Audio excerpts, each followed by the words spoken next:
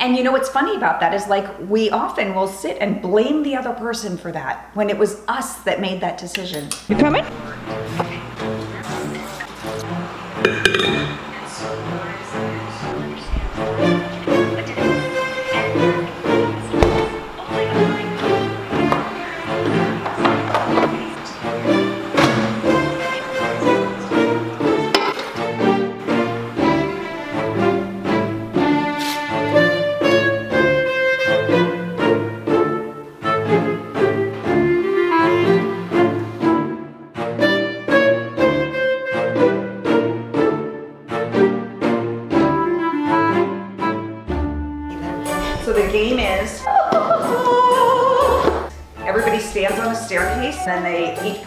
To do opera.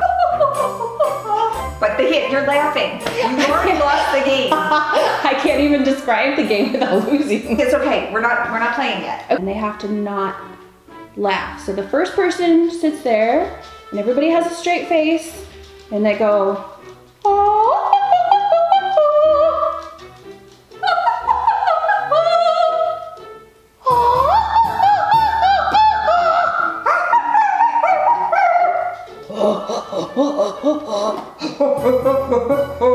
Well, apparently we're really good at this game. Yes, but my straight face isn't so good. What cookbook is it? The Joy of Cooking. It has recipes for things such as how to skin a squirrel. like like there's so many random animals in here. Potted goose. Snipe, snipe, or I thought snipe was a joke. Uh, what kind of recipes? I know, right? Look, look, there's a pig on a it's not plate. in the meat section. Stuck in my That's how you know that that's a good page. So my son was in Boy Scouts and I tried making puffy cookie and everyone thought they were macaroons. I got like first place for like the cooking award. Maybe we should make the macaroons and see I- what they're supposed to Are be Are you like. talking about the colored ones? The colored ones with Yeah. like the cream filling in the middle? Yeah, those are macaroons. No, those are macarons. Because everyone calls them that, and I even found a package that said Yeah. macaroons on it at the grocery store with macarons in it. I mean, people don't know that there's a different. macarons What- is a coconut. A Can we the difference? Can we see what the difference is? Let's Yes, macarons are made with coconut and macarons are almond flour. You Okay, so accidentally like- made a really good cookie and it won an award, so why didn't you bring that recipe and do it wrong again, however you did it? It's this one, sugar drop wafers. all-purpose flour, Got it? Baking powder, cinnamon, and freshly grated nutmeg. I have a nutmeg. That's a nutmeg. And I'm like a random old lady or something because I have it in a Old prescription bottle. right. Yeah. I should have pebbles on the floor. I always cover things in the microwave. Got raspberries, blueberries, little mini cucumbers. Canos? Oh, I love them. Yeah. and, and cottage cheese. Cottage cheese. Yeah. Do you like it? A lot of people can't handle the texture, Oh, but I like it. I like it. My my son was like, "Ew, why'd you get cottage cheese?" it's like, son, it's not about you. I had to tell Jack that when he was a little kid because they think the world's about them. Like, how dare you buy food that I don't like? I tell my husband It's like, too. don't worry. There's more food. There's lot. There's a lot of things in here. You don't have to eat what I'm eating. They have every opportunity in the world, maybe not children, but grown men have every opportunity to drive themselves to the store and get whatever they want to. Right. I know. He, my kid works at the grocery store, so he doesn't. But he doesn't do that anymore. But I had to explain to him like what.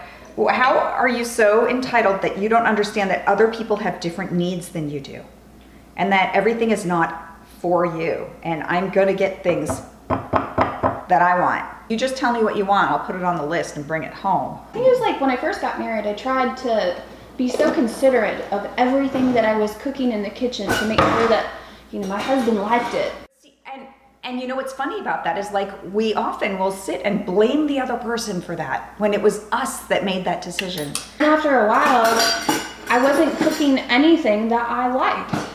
And I didn't like cooking anymore, and it became a chore. I just made another decision that I was gonna cook for myself and what I like. Good for you. I got up in the morning, had some cottage cheese and some cucumbers and some berries. That's basically what the uh, nutritionist was having me eat.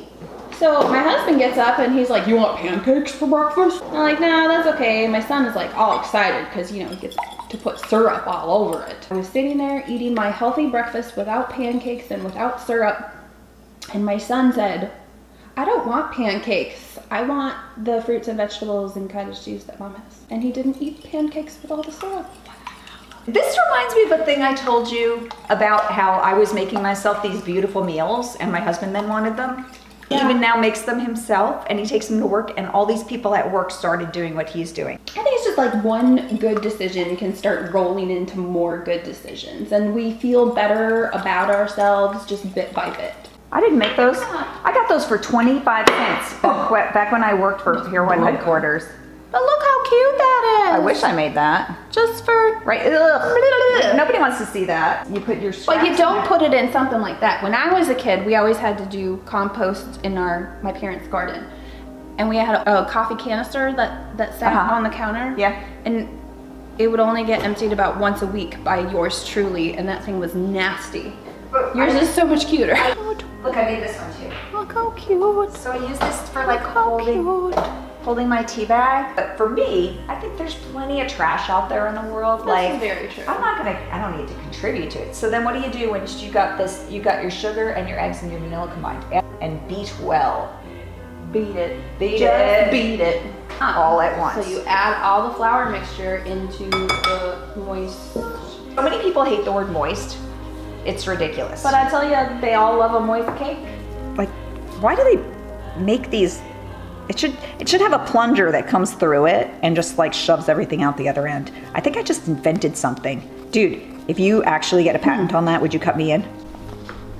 Like I just got it again. I just got cookie. Do it again.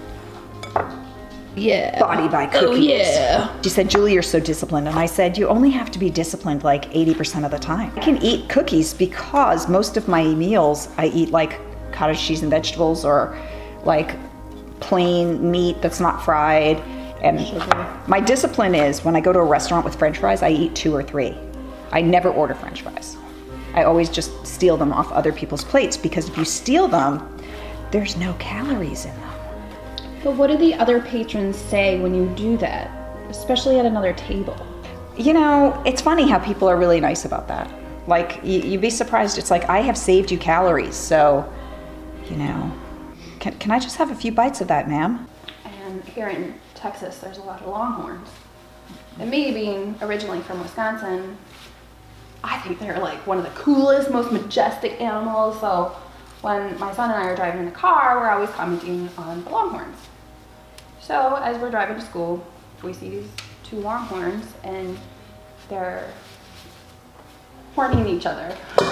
They're Like their horns are like wrestling each other. they're Like, horns. I guess if you get stuck. I'm not from Texas, so I don't know a whole lot about this kind of stuff, but Girl, I didn't see a cow till I was three. what? I'm from Long Island. different varieties of people. Uh, I never saw those. White or Native American, that was pretty much it.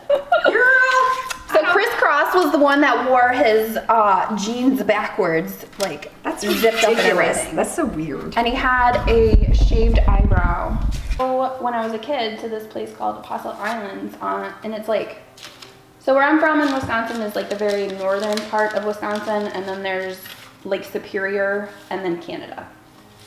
So when you were talking about like a boat ferrying you across Yeah.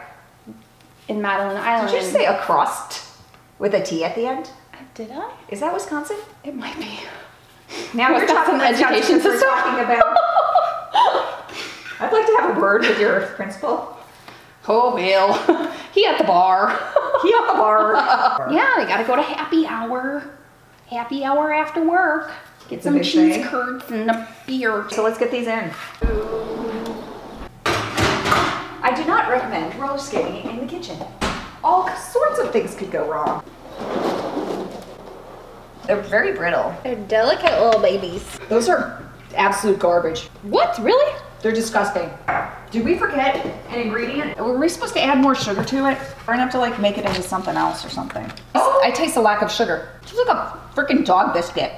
You guys use the whole bag of flour?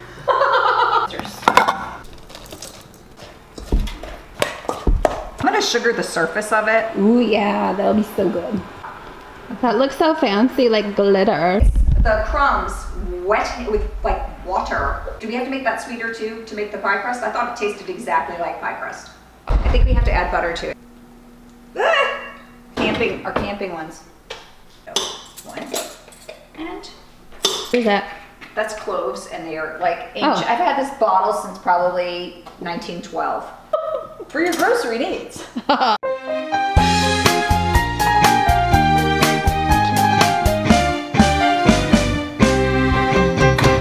Maybe we can slop a little in each one and make it like a mini. Like the worst video ever. You made the worst thing ever. I'm fired already. Nobody was making sure I was paying attention to what I was doing. Whose job was that? That was probably my job. Stick in the other two. Just for funsies. Why not? It's like a happy accident, like Bob Ross taught us. The chef's on TV. Everything's perfect. they never forget an ingredient and go, this is disgusting. Um, oh, why do you look so scared? Oh, hello, cookie. You want a cookie? I don't know if you're gonna like it because you How do you just think are this pie's gonna turn out? Questionable pie. Well, you know, I already put like eight bucks of ingredients in. Why not? What's another ten? Let's try it. I was just hoping you don't have a lawsuit for someone that you said doesn't like it. Oh my gosh, what? It's not a recipe. It's not a real recipe. Gosh, do not watch this for. it's not from the joy of cooking.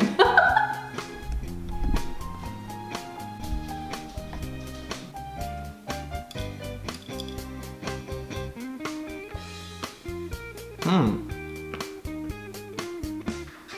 That was really good. Was like, Really? Or mm, so we solved it? We, we rescued it? There's the actual pie over here.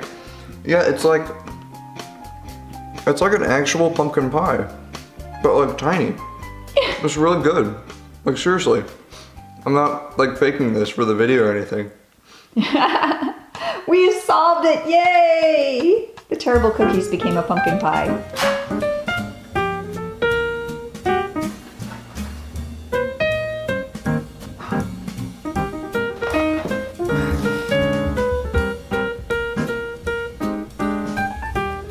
I burned the tablecloth.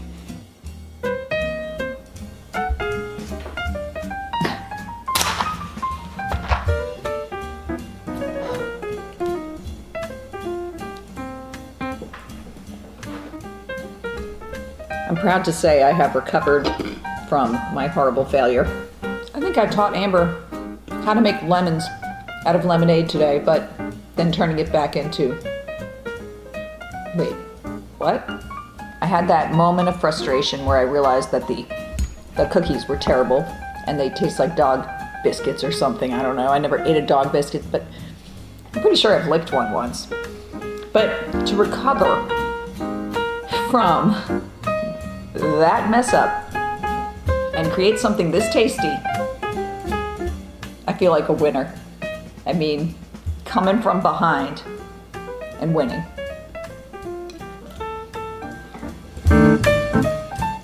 It was a good day. Mm.